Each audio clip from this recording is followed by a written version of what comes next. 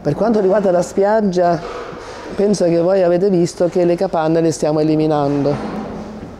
Le famose capanne che almeno fino a qualche anno fa era oggetto di una corsa.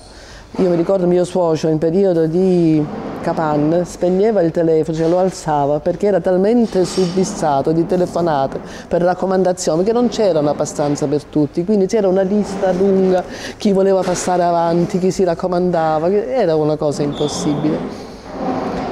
Oggi c'è sempre, non nella stessa maniera, anche perché la crisi è, è forte, devo dire che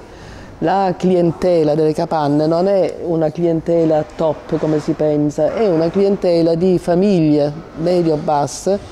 che la capanna la usano come se fosse una villa al mare e lo dividono, noi diciamo ci sono 10 ingressi per ogni capanna, ma io eh, sono certa che sono parecchi di più per ogni capanna, perché poi controllare la gente che arriva dal mare è difficile.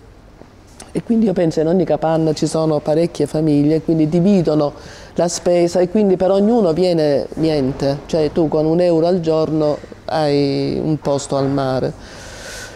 Eh, quando è diventato eh, amministratore delegato mio marito, che diciamo non si era occupato in passato della società, lui è qui dal 2005, ha creato questo master plan intanto come primo approccio e ha cominciato a fare le spiagge attrezzate. E le spiagge attrezzate, devo dire, sono gradite perché intanto lì noi riusciamo a dare un servizio, cosa che è completamente quasi impossibile dove, dove sono le capanne, perché c'è un tale una tale massa di gente, gente che corre, bambini che giocano, che noi animazione non riusciamo a farlo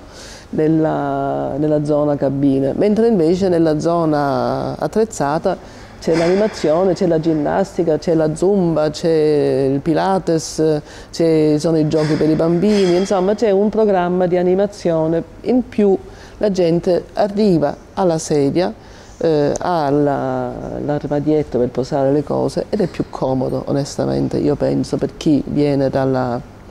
dalla città. Quindi noi contiamo di allargare queste spiagge attrezzate sempre più e